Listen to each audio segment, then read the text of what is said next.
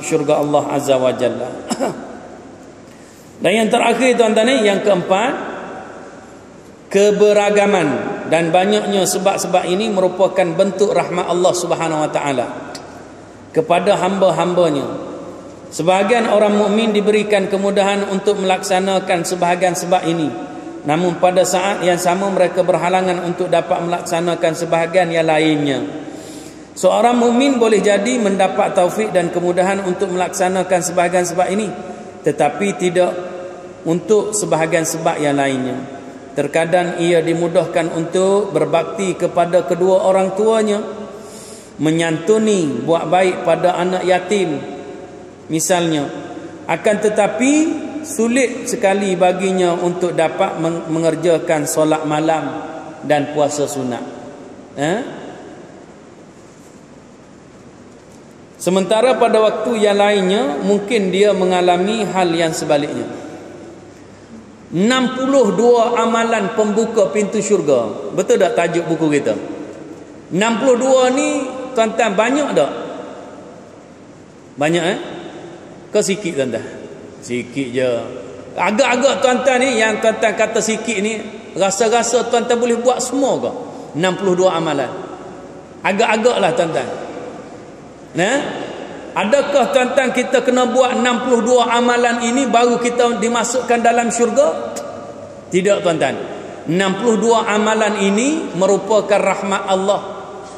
62 amalan ni banyak tuan-tuan. Mungkin sebahagiannya kita boleh buat, sebahagian yang lain kita tak boleh, tak boleh buat. Contoh yang dia bagi sini, kita boleh buat baik pada ibu bapa.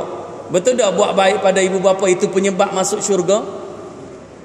Melayani anak-anak yatim. Betul tak itu juga penyebab masuk syurga? Tapi tuan-tuan ni me -me -me melaksanakan ibadat pada waktu malam juga adalah penyebab masuk syurga? Soalan.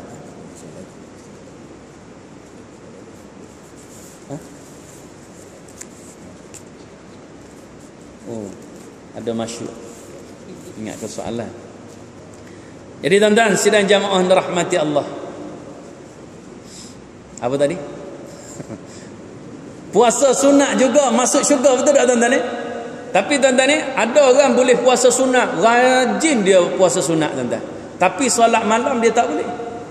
Ada orang pula tuan-tuan ni solat malam, solat sunat, puh tuan-tuan. Lepas solat fardu dia terus semayang sunat, semayang sunat, semayang sunat. Eh? Nak puasa tuan-tuan, anak tak boleh puasa. Hmm anak anak tak boleh. Nah puasa sunat tak boleh. Puasa fardu tak apalah.